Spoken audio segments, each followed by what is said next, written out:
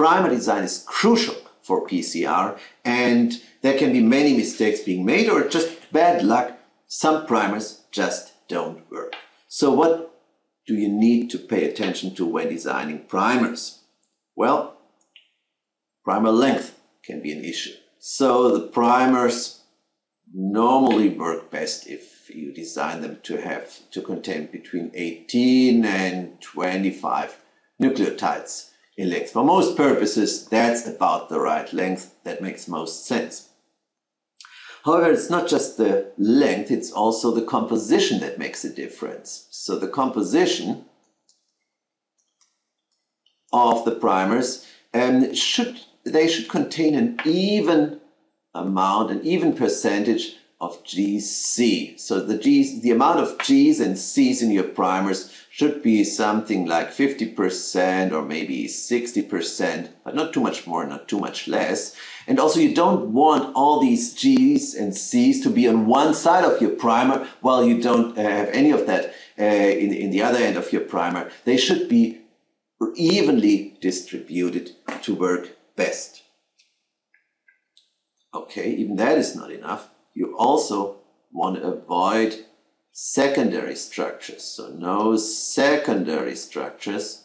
Um, and those secondary structures are mostly the, the hairpins that I've just been referring to. So if you realize that a portion of your primer, that's the 5 prime end, would be perfectly complementary to a region that's closer to the 3 prime end, that these bases would correspond and um, be complementary to each other. Uh, in such a case, you cannot expect that primer to bind to your DNA template efficiently because after all, you need the entire primer sequence in order to anneal with your template. So that's a situation that you're trying to avoid.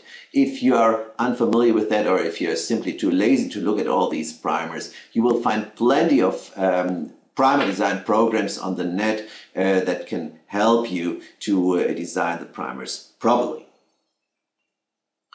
So the secondary structures are something that you want to avoid.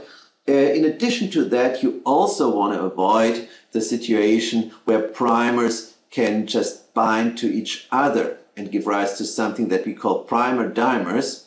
Uh, that's something that we will address in more detail in the next lecture, but uh, just to make it clear what I mean, if primers, that's a three, 5 prime end and 3 prime end, 5 prime and 3 prime, if they bind to each other like that, they will just be filled in like that.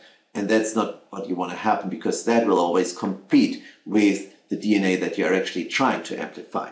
So primer dimers should also be avoided when designing the primers.